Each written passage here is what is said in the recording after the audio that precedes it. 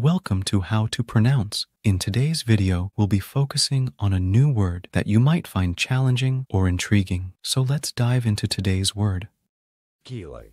which means a surname of Irish origin, occasionally used as a given name.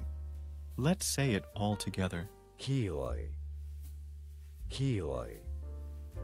Keeley. One more time. Keeley. Keeley. Keeley. Thank you for joining us on this adventure in pronunciation. Remember, language is a journey, not a destination. Keep exploring, experimenting, and expanding your linguistic horizons. We'll see you next time.